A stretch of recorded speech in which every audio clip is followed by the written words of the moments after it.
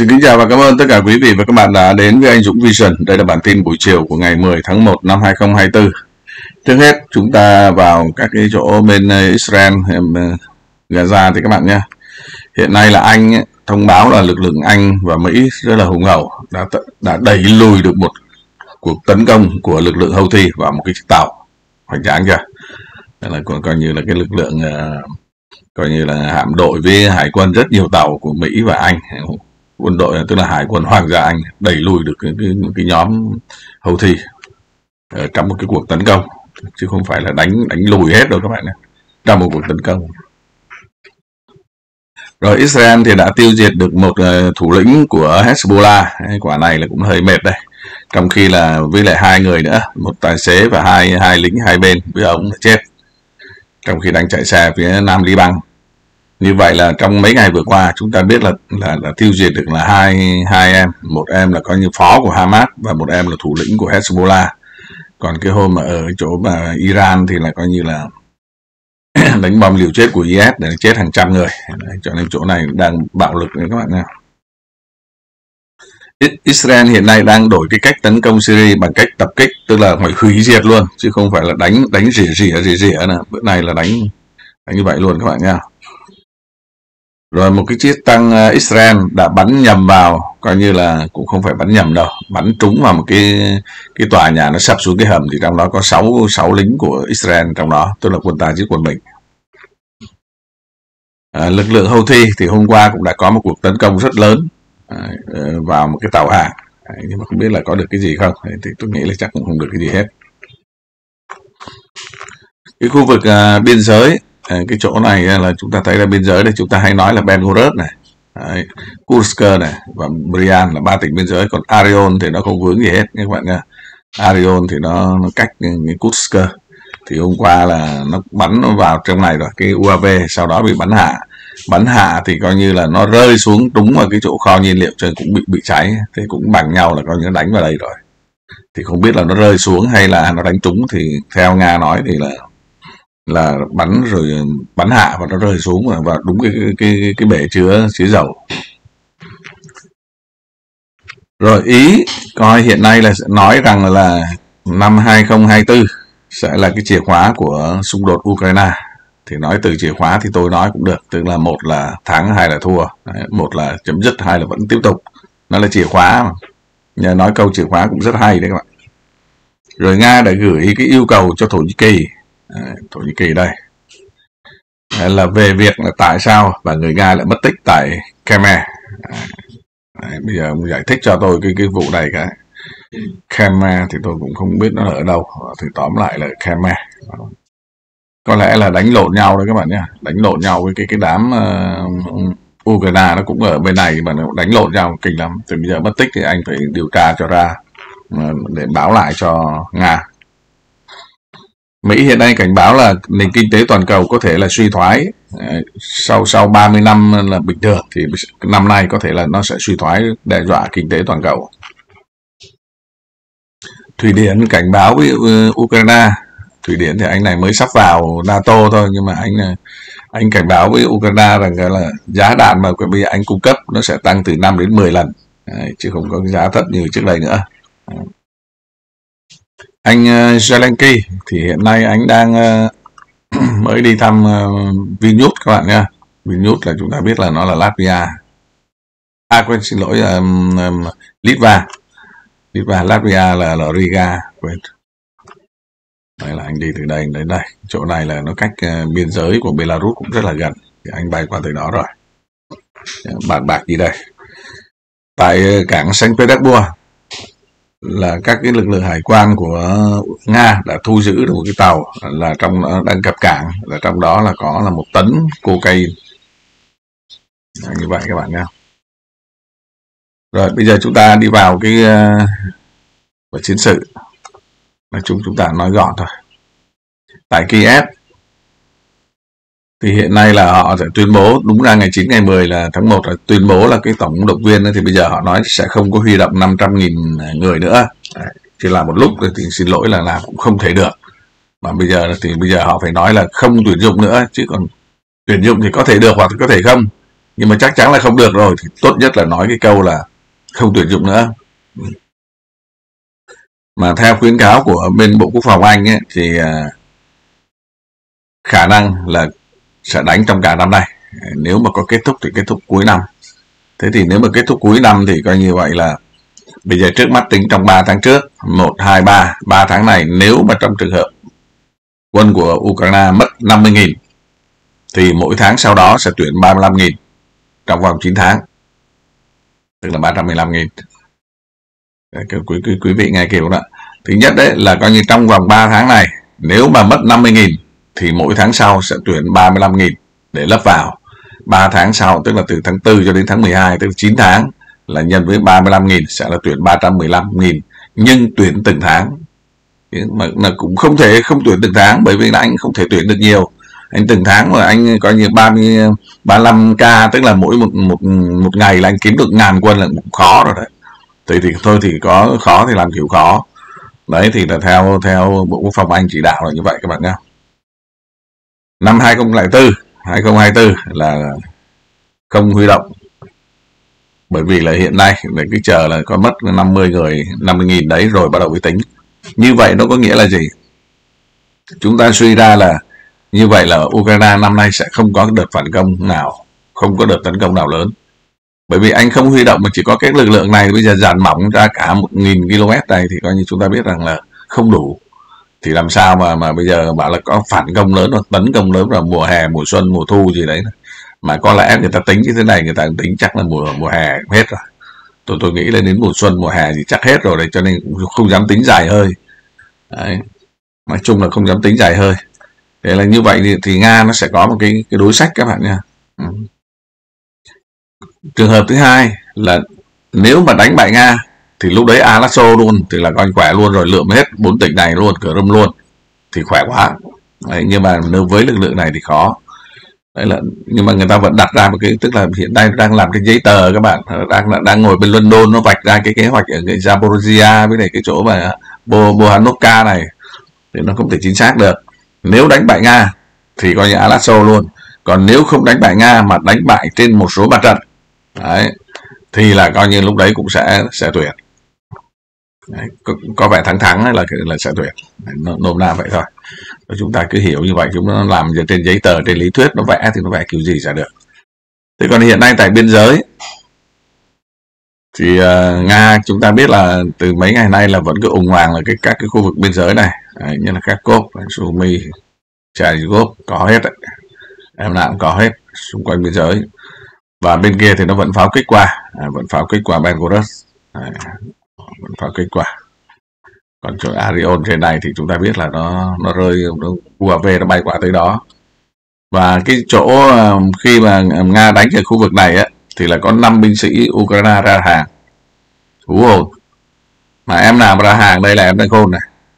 Bây giờ có khi xung ra xung ra mà trận xong là bấm nhau là coi như là là ra hàng là coi sống, chứ còn nếu mà chiến đấu là chết.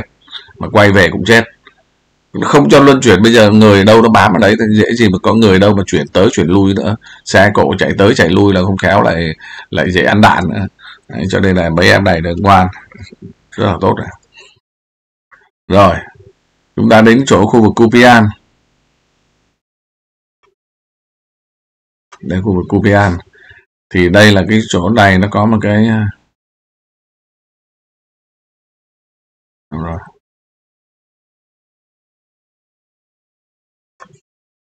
Đây là Kupian này. Ở à đây là ngay đây.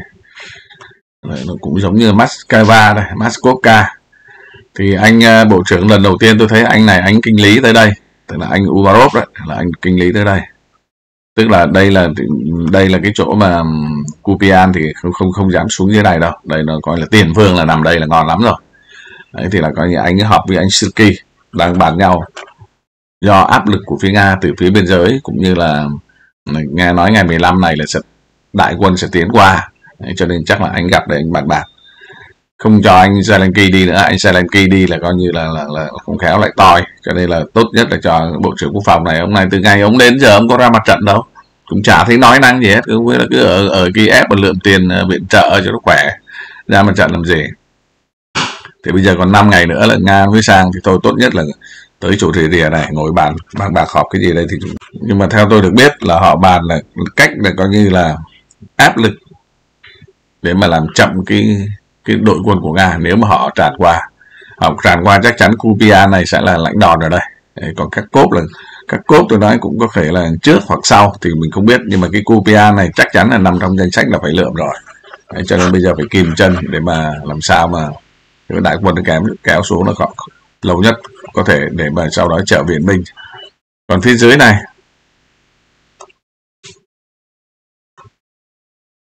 Ivanovka đâu rồi?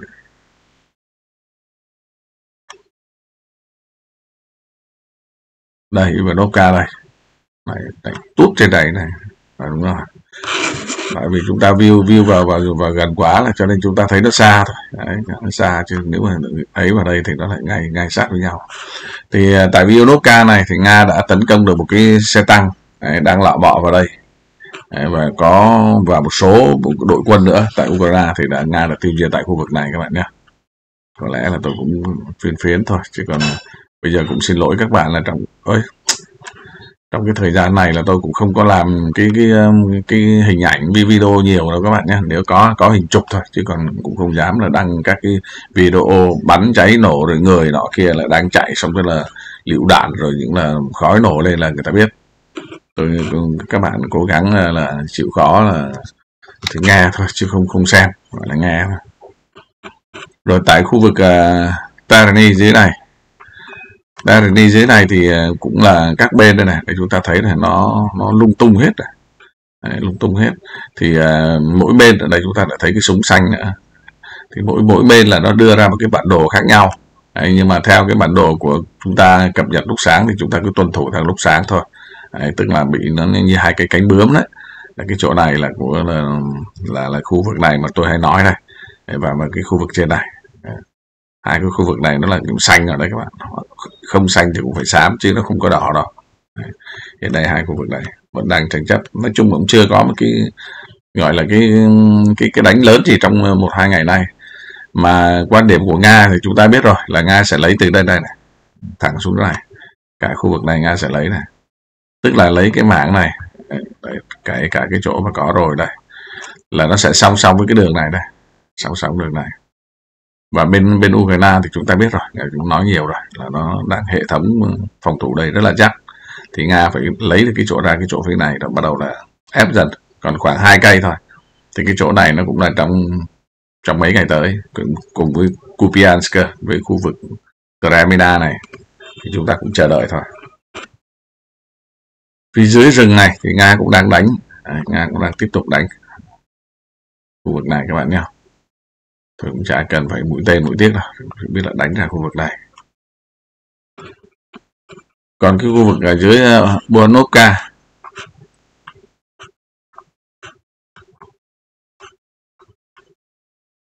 Buonovka này.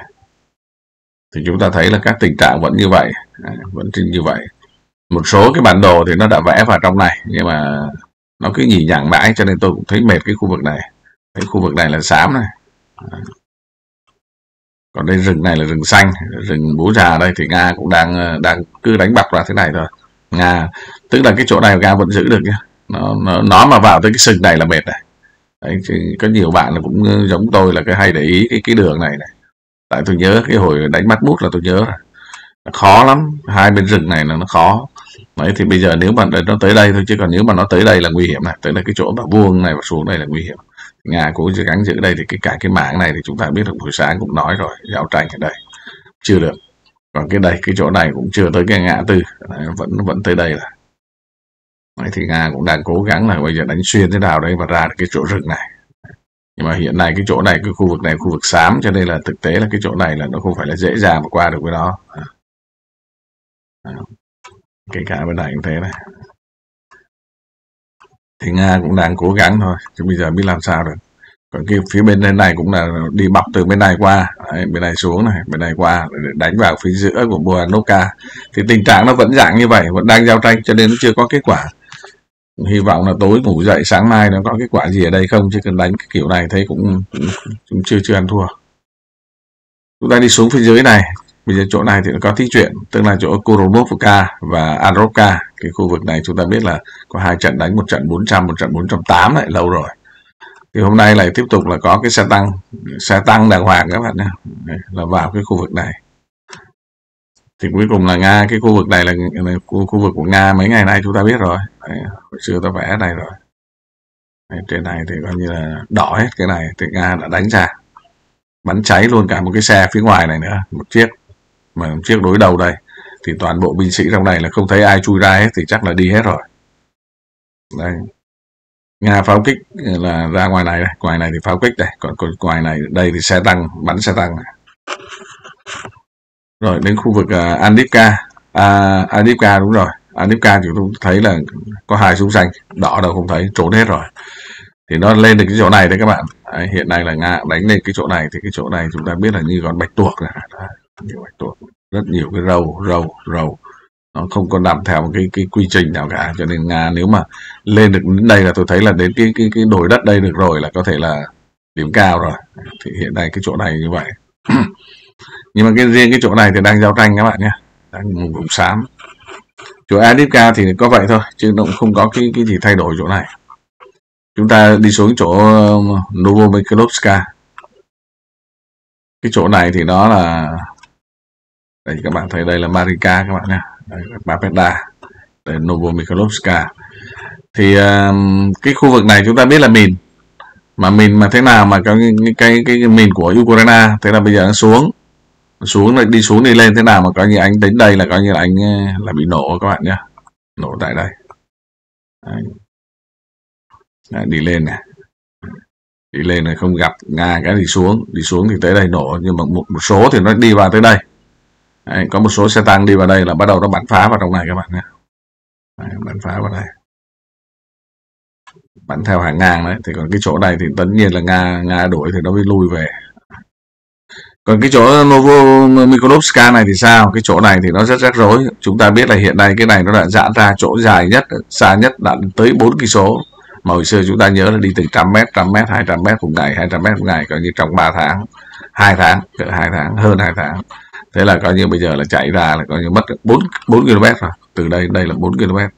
Đây chỗ này chắc ba cái rưỡi chỗ này là 4 km còn cái chỗ này là như là hai km. Thế thì bây giờ là nga rút thì không biết là theo có đúng như chúng ta nói trước đây không để mà đánh bom hay không. Nhưng mà còn từ cái cái khu vực ở bên này thì nga nga không đánh vào đây nữa và bắt đầu nga tới đây bắt đầu nga xuống này.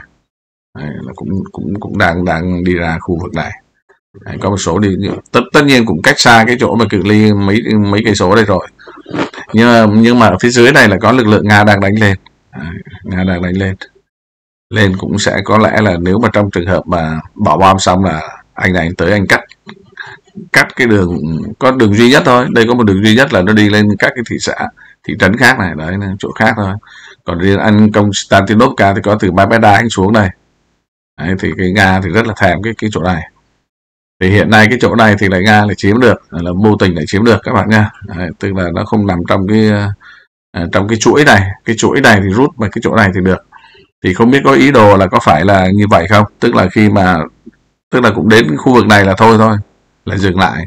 Thì là coi như khi nào đánh bom xong cái anh này vào là lúc đấy là chắc có lẽ các lực lượng bộ binh đây là họ sẽ tiến vào cái cái thị trấn này. Nó cũng rất là khó khăn.